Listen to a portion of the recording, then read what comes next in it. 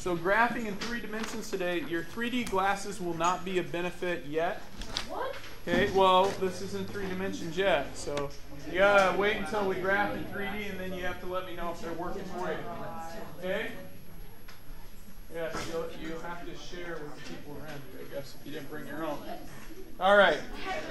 No, no. No one around me has any, so. Said they're not ready yet. So, to begin with, I would um, get the learning goal down there. We're going to define what a trace and an intercept is. We'll do that as a class. We'll talk about coordinate space, graph, uh, uh, what the graph of a plane is, and some. We'll go through some examples on your assignment here. Okay. Um, anyway, so I'll let you get that started. All right, ladies and gentlemen, if I could have your attention up here, you're going to be use, you're going to be taking notes on, on your note page as well as uh, working through problems on your assignment. So let me kind of let me kind of explain how your assignment is laid out as we're going through 4-4 here. Okay, your assignment here, you'll notice this grid that's on here. It's using isometric dot paper. Your textbook does not show it like this. They actually uh, uh, turn the graph in a different in a different way. So if you look in the textbook, it's going to be a bit different. I prefer I prefer using it like this. It's a little easier for students to see. Uh, you'll notice the back we've replaced that as well, and then we've given you a piece of paper with a bunch of dots on it and problem numbers by it. That dot is your origin. So we'll start we'll start talking about what we're going to draw there. You'll notice 5 through 12 will be on the same coordinate space. Okay? And then when you turn to the next page, you have your 24 through 31. And then you just have a blank page with dots where you can put problem numbers by it, front and back. Okay? That being said, there's a lot of things that we need to go through and understand. We're going to kind of work through it um, as we do some problems. So, if you want, you can use the note page that I gave you on the way, that you picked up on the way in, just to kind of make general notes to yourself. And then you can work through the problems like one through four. You could actually, um, you can put it on your note page or you can just reference your worksheet. However, is going to be most beneficial for you to take notes. But it's not a tough concept today, I don't think. Um, once you get the hang of it, it's just a different concept, which makes it difficult when you pile it in with a bunch of other difficult things. All right, so I don't know if the 3D glasses work here. Are they helping? Tyler, are they helping out? Kind of, yeah, kind of. It, it's not pure 3D. It's not HD 3D, so it might. It, it actually might not work at all, but it looks pretty cool. You guys wearing glasses? Yeah. All right. So, so graphing in three dimensions. So, first of all, state the coordinates of each point in the diagram. I want you to try number one together, see if you can come up with an idea there. Hands up. Can I have your attention back up here? Thank you. So there's a few things that may not be as clear on this sheet for you. This is your x-axis. Okay, now that's a little different because usually we think of this over here as our x. This is our y-axis. And this is our z-axis. Okay, so x, y, z, this is the positive end of the x. This is the negative end of the x. Now notice we've shown the negative end using dashed lines. Okay, and the positive end of the y-axis and the negative end of the y-axis. And then we have the positive end of the z-axis and the negative end of the z-axis. So the dashed parts we've made the negatives on. Okay, if I'm looking at point A, point A, point A sits right there. Okay, and there's a vector. It's a little tougher to see, but there's a vector coming from the origin out to point A. So what you need to ask yourself first when you're plotting points and thinking of points, when you're dealing with coordinate space versus a coordinate plane, a coordinate plane is just a flat plane surface if you think back to geometry. Okay? What we did in geometry mostly was just dealing with plane surfaces. Versus coordinate space, you're dealing with three dimensional surfaces, which you like since you're a three dimensional person. Okay? You, you live in this world where you want 3D objects, whether it be a hat or uh, a car or anything like that. You you would design that in a three-dimensional coordinate space. So it's called coordinate space versus coordinate plane. Space is the space around us. It's three-dimensional versus a coordinate plane, which is two-dimensional. Three-dimensional, we have three axes. Two-dimensional, we have the two axes. That's really simplifying it all there. Okay, so we have an x, y, and z. So point A on the x-axis is at, we're here and we move this way, we're at 1. Now, did we go parallel to the y-axis? So did we move this direction at all? No. Did we move up or down at all? So since we didn't move with the y-axis, that would be 0. And we didn't move up or down, it would be 0. So that's a coordinate triple. Okay, an ordered triple. 1, 0, 0. So it's very similar to x, y, but this is x, y, z. Okay? All right, why don't you go ahead and complete 2, 3, and 4 right now. All of you get out here. Letter B. Letter B is right in the middle. Okay, we're done talking. 0, 0, 0. Letter C, um, we don't go anywhere parallel to the x-axis, and we go to C. Um, so that's 0 for x. On the y, we move 2. And on the z, we don't go up or down, so that's 0. And then on the d, for the d there, we go on the towards the x. We don't go any way this direction. Okay, we're going to d. We don't go any way this direction. We do go up and down though. So we have 0 for x, 0 for y, and z we go up 1, 2, 3. Okay, any questions on those? Yes, Lily. What would it look like if it had it wasn't zero for the other? We're going to see that, yeah, for sure. We will see that here in a few. Any other questions? Okay, moving on.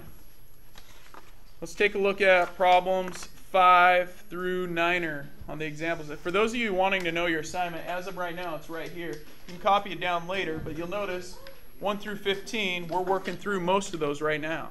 Yeah. Okay? So, don't worry about copying that down right now. Let's just go ahead and try 5 through 9. 5 through 9 says graph each point in a coordinate space. Now, if you're looking at your assignment, you'll notice in the in the packet I gave you, there's a place to do problems 5 through 12, all of them on the same coordinate space. Which means, in order for you to do this accurately, you need to actually create a coordinate space. Okay, so I would suggest using a ruler, or not a ruler, but a pencil as you start. You don't necessarily have to use a ruler. Uh, if you have one, a straight edge, maybe the edge of your calculator would be helpful. But as I do this,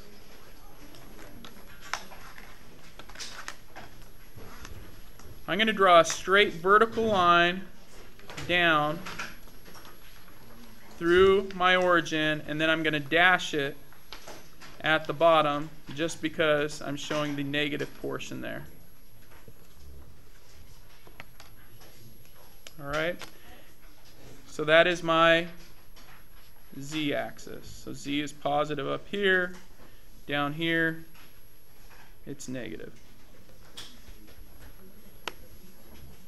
I am going to go this direction with my dots, and this is my, oops, this is my y axis here.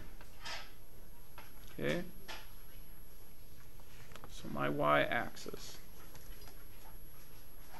Y is positive here, and I should attach the negative part in here.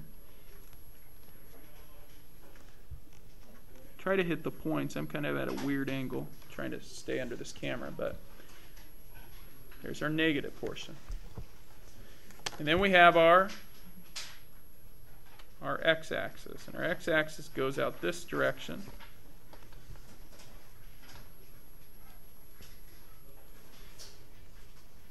Okay, and then dash it back here.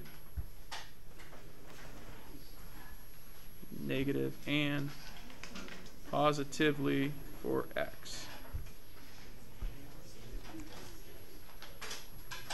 Okay, now a lot of times if you're doing computer programming or you're doing this on a computer, you won't see the negative portion. You'll just see this solid line piece, this corner, kind of. So if you use computer programs and you've dealt with three-dimensional graphing in them, a lot of times you just see this solid piece. Okay, and there's different ways that they represent those values. So as I'm graphing these, are we ready to ro- roll on them? Okay, so number five, if I'm graphing them, that's x, that's y, that's z. I want everyone to put a point on that grid where you think number five is and where you think number seven is. Just label it five, label the point five, label the point seven, and then try number nine. Don't worry about 11 yet. Okay? Just label those points five, seven, nine.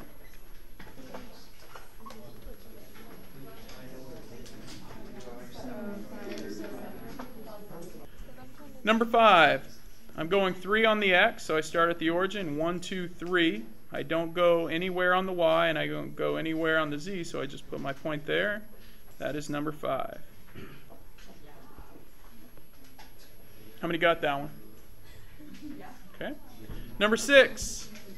Don't go anywhere on x. Don't go anywhere on y, but I go up four on z.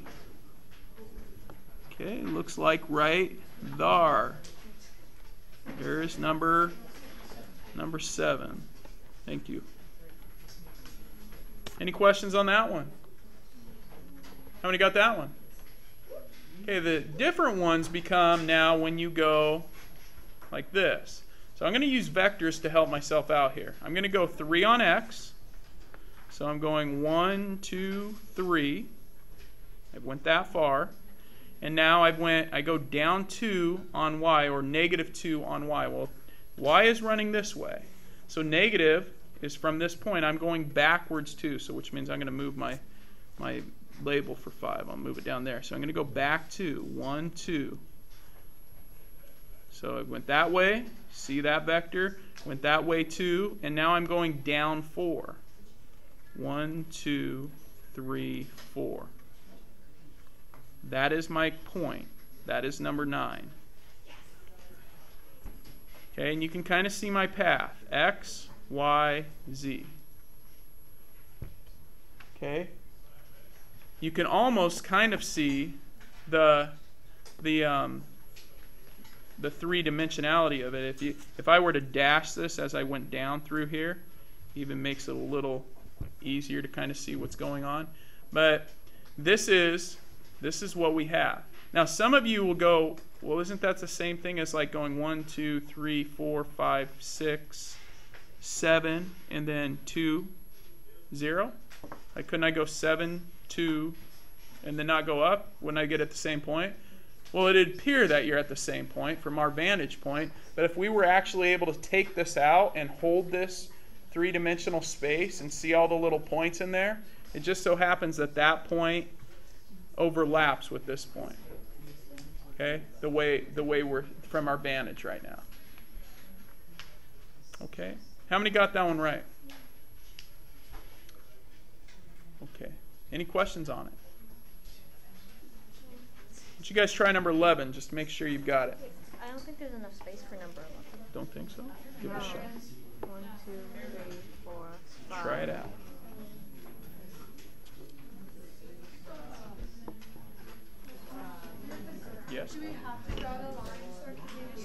Oh, good question. Um, I think it's helpful at the beginning, but you don't have to. No. If you can see it well, that's fine. Okay, let's check it. Um, Chloe, or not, excuse me. Jenna had a good question. She was asking, "Hey, do I have to uh, draw the lines? Do you have to draw the vectors? You don't have to. It's just sometimes helpful when you're beginning." Okay, so three on x. So once again, we're going this way three. Negative one on y this time, so I'm going back one. And then six on z, so I'm going up six. Man, it just barely fits. Number 11. You have to draw the lines.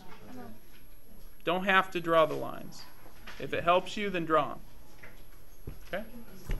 All right. Graph space, does it have like enough space for your points? Yep, you'll have enough. Are you sure? I'm pretty sure. No, not like on other problems. I'm pretty sure. Okay. Pretty sure. Okay. Okay. All right. So let's go ahead and take a look at the next piece here. You'll notice you still have to do 6 through 12 on that part. In fact, if it makes you feel better, I'll give you guys two minutes to work on 6 through 12 right now. If I can have your attention up here, once again, the danger of me giving you the assignment right now is that you'll just keep working on trying to do the other stuff. The kind of saving grace right now is you don't know necessarily how to do everything else. But once you learn it, just try to stay with us so I can touch on the things that I think you're going to struggle with a bit, okay? So I have four more problems that I want to talk to you about. And then I also have a couple things that I need to show you with the uh, cool 3D thingy that used to be up in the rafters and now down here. Okay. All right. Let's go ahead and talk about example three problems. Number 13.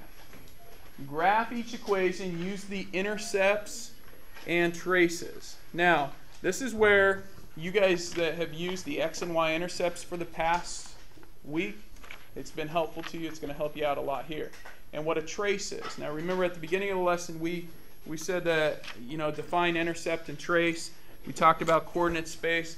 Well, we're going to see what an intercept and trace is here. So, if you take and go to graph 13, I saw a lot of you actually had already drawn your, your x and y axis in here and z axis. So, for those of you who are just sitting around waiting for the class on other problems, you can just you can kind of get these drawn in. Okay?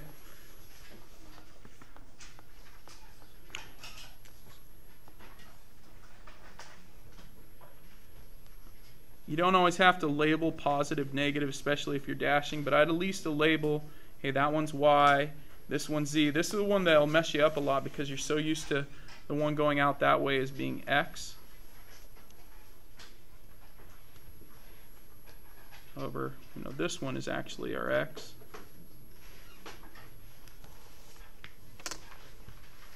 All right, so we've got our X, we've got our Y, we've got our Z. Okay. What's up? Can we switch the x and y if it makes it easier for us? No, no? no. Yeah. Generally, the way you see it, you're going to always have Z going up, Y going out this way, and X coming towards you. And you can a lot of how many have dealt with like computer programs where you're doing three dimensional? You can twist it around, right? Yeah. I mean, it, it's really pretty cool stuff. But the way we're going to reference it from our books and stuff, we're going to have it in this this uh, direction because that's how they have it. Okay, number 13 says find graph each using the intercepts. So if I'm looking at 13 and I'm finding the intercepts, remember intercepts just tell us what x, y, and z are when other variables are zero. So if I want to find the x-intercept, I make y and z zero. I get x plus zero plus zero equals three. So x equals Three. three. So my x-intercept is three. Thanks, Okay? So I have an x-intercept of 3, and you'd have 0, 0. Right? So that's your x-intercept. Now, a lot of you won't write out 3, 0, 0 like that. You'll just say, okay, it's at 3. So on my x-axis, I am going to go to 3, and I am going to put a dot. That's where my, my graph is going to cross the x-axis. Okay? My y-intercept is when x and z are 0. So I put 0 in for x. I put 0 in for z. I get a y-intercept of Three. 3. Now, it's not always going to be the same, but in this case it is. The y-intercept is 3. So I have that coordinate, 0, 3, 0. Okay, so once again, you may not write it out like this every time. You're probably just going to go, hey, the y-intercept's 3, and you go to 3 on the y, and you put a dot. Okay? And then you go to the z-intercept. That's when x and y are both 0. And z. And z equals Three. 3. So my z-intercept is, once again, 0, 0, and 3. So again, you probably won't always do that, but for now, so that we're seeing it, there we've got it. You now have your intercepts plotted. What you now need to do is what are called traces. And traces just draw lines through your intercepts. So from 3 on z to 3 on x, I'm going to draw a line through that looks like that. I am not just drawing a segment to the points, I'm drawing a line through those. And then from 3 on x to 3 on y, I'm drawing a line through those. They go on forever. Get those arrows on there. 3 on z, 3 on y. I'm drawing a line through them. Get the arrows on there. Those lines that you've drawn are now called traces. Those are called traces. All right. How many are with me so far? Very good. So you have these traces. Now, really what you have, if, um, let me see if I can get this set. Worse. Okay? Um, I like to think of it as a, uh, you, you, know, if kids are running in the hall, you can just throw it out there as like a, a, a slowing down device. Could hurt, so we try not to do that. Okay. But this is actually a three-dimensional coordinate plane. It is pretty cool. All right, let me see. Here's my x. I guess it really doesn't matter. Here's, this would be my x right there. Here's my y, and here's my z. Okay? So I got my x, y, z. Now, the, the thing that we've just graphed, that's going through 3 on x, 3 on y, and 3 on z. So it's a plane cutting through, going like that. So if you if you look at it, right, you can kind of see that depending upon which view. Now, if you had a computer, this would be really cool because you could twist it around and see that plane. This plane goes on forever. Okay, it slices through these axes and slices through this one. It just keeps going. So it would go all the way down. It would visit, visit, Miss Shrek downstairs. It would go up through the roof, go up to the sun, and just visit and hang out for a while. It goes on forever. Okay, it's a plane that's cutting through there. The way we show that plane, the way we show that plane, let me turn this this way. There we go. The way we show that plane is with that triangle right here. This triangle, we shade over the top, showing that that plane is lying kind of right in front there. Okay? So notice the arrows. The arrows show that it's going on forever. Alrighty. How many are with me? Okay.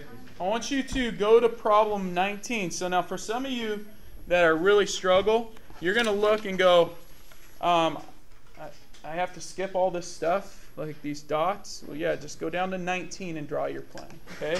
We're going to do number 19 as a class there. Okay, so first thing I want you to do before I do it is I want you to find the intercepts, the x, y, and z intercepts.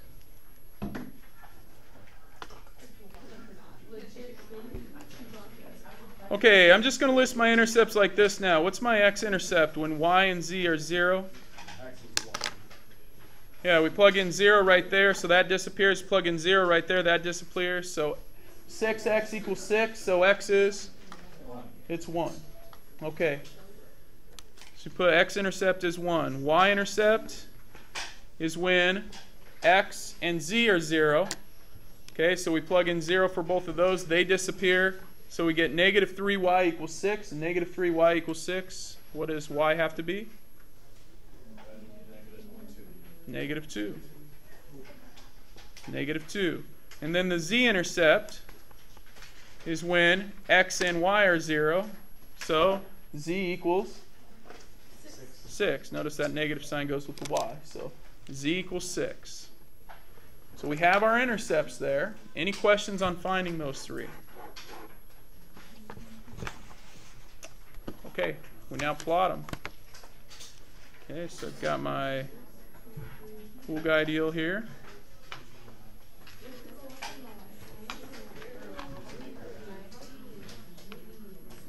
Kirchhoff style.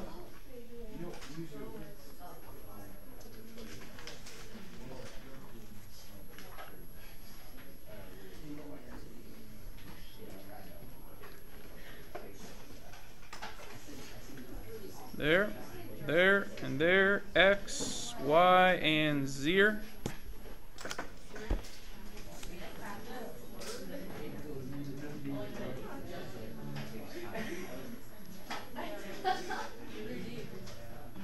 One, negative two, and six.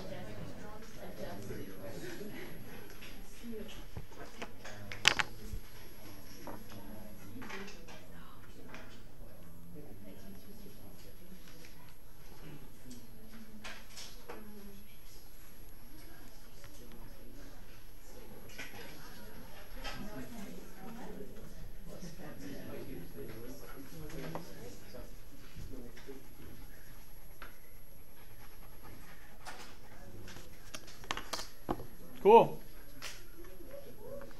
How many got it? Okay, questions on it? Okay, I'm going to give you some time right now to do a little work on uh, the graphs that for, there, you notice I've numbered them. So you have to do 14, 15, 20. Then when you look to the back, you got through 31 there, and then I've got some other dots over there, but looks like you have three on the front still and then six on the back. Why don't you work on some of those? When you get to 25 and 28, those are going to be tough. We're going to go through some of those as a class. It's going to look a little different. We'll go about three, four minutes working on as much as you can, and we'll touch on um, 25 and 28. Hey, we're going to look at 28 now. The only reason I saved 25 and 28, I'm sorry, let's look at 25 first. Only reason I saved those for now is because the equations look different, which means our graph's going to look different. Okay? So I realize some of you aren't to those, but you need to pause now, otherwise it's going to get confusing here. That's why we're going through them together. So, what's the x-intercept for 25? It's when y is 0, there's no z, so x equals 8, right? Yeah. Okay, x equals 8. The y-intercept. Good, is when x is 0, so negative 4 times y is 8, so that equals negative 2. Okay? So we've got those you need to take and you need to graph onto your coordinate plane.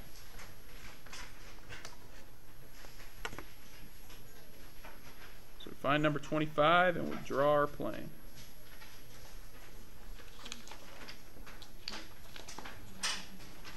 Even though there's no z, we still have that z axis.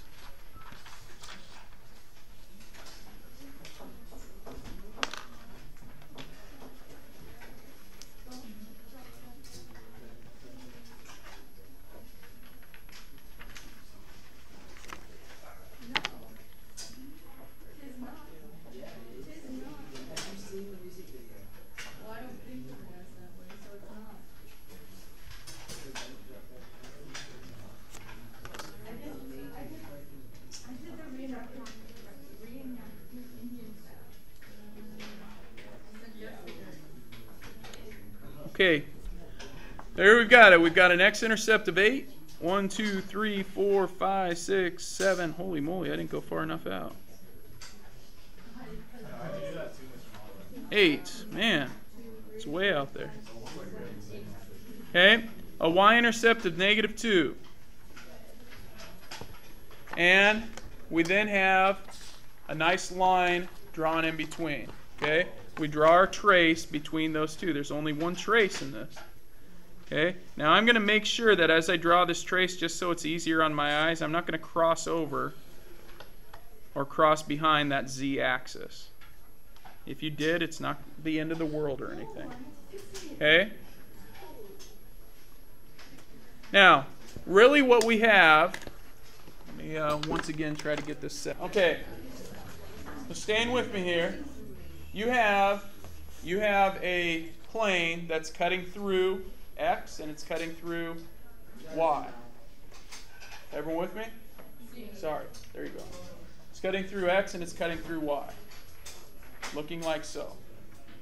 So it's parallel to z. It's not cutting through z. So if it doesn't go through z, it doesn't intersect z, then it's parallel to z.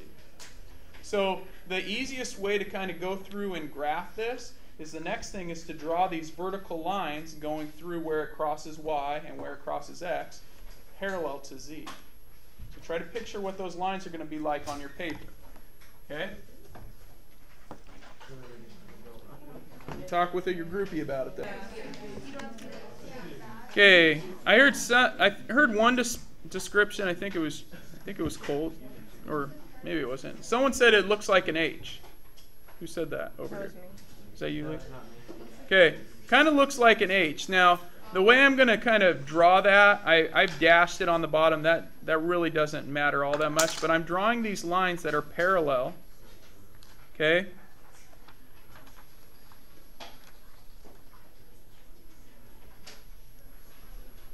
All right. You kind of see if you want to dash them, that sometimes helps students. But drawing these lines parallel to Z, and then you have this plane that's running between them. Now, you'll notice that I've tried to keep my the length of my vertical lines I drew about the same length, and as I'm shading, I'm kind of shading parallel to my trace. It just it's just an aesthetic thing. It, it kind of is is more aesthetically pleasing when you do that. It makes it a little easier to see. All right. Some students I've seen in the past because they're like, well, this x-axis is kind of in front of it, so they like after they shade, they really go over the x-axis again. They're like, it's real, it's it's in front of that, so the the plane is actually behind it. So they even sometimes bolden that out a bit more, just so they can see that the plane's behind it, just so it's easier on their eyes. But notice it doesn't cross the z-axis anywhere.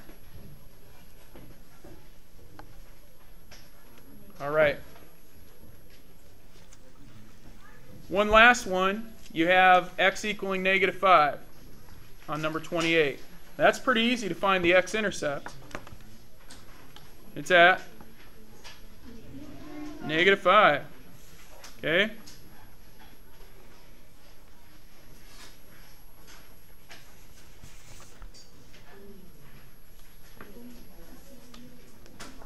So in this one, it doesn't cross two axes. So we go to negative 5 on x, and from that point, you've got to go with a parallel line to z, but also a parallel line to, to y.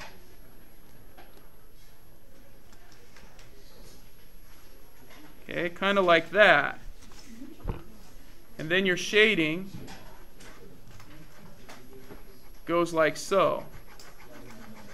Okay, the plane is just just kind of hanging out there, poking over the y-axis. So for some people, it's really helpful to see the actual image of it.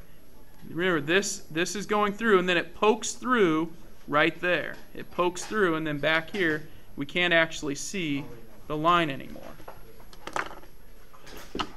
Okay, so let me show you what that looks like here. This is good, and how far do you do you know how far to make it from the z and y axis? I just make sure I don't cross them. But that's what that one looks like. Right? So if you're dealing with oops, x, it's back here. Okay? So it kind of looks like looks like that. Oh, it's hard to see that, you guys, but Oh, so that's why you have little it's kind of projecting through like so. So you have your x-axis coming in, hitting it, and then popping out the back. It's parallel to z, and it's parallel to y. All right, ladies and gentlemen, well done today.